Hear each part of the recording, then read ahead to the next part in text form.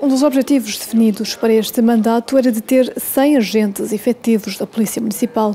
O objetivo foi cumprido pelo atual Executivo durante a cerimónia do 19º aniversário da Polícia Municipal de Oeiras, com a integração de 29 agentes. Também à Polícia Municipal tem sido pedida muita exigência em termos de disponibilidade, 24 horas por dia, atender a eh, todas as situações a que são chamados, desde o acompanhamento eh, para o transporte de refeições, eh, o apoio às famílias isoladas, etc. A intervenção nas ruas de complemento à Polícia de Segurança Pública, quer dizer, tudo isto tem exigido de todos, naturalmente, e também da Polícia Municipal, e portanto também foi uma forma de expressar aqui o nosso reconhecimento. E de forma a que a Polícia possa prestar um serviço rápido, também 18 viaturas foram entregues. Não faltamos com meios à nossa Polícia. Hoje mesmo eh, fizemos a substituição, que estão aqui, de 18 viaturas, umas tantas elétricas, outras híbridas, outras viaturas normais, justamente para que a Polícia Municipal esteja com capacidade para responder a todas as solicitações. O Presidente reforça ainda que o município procura sempre garantir o conforto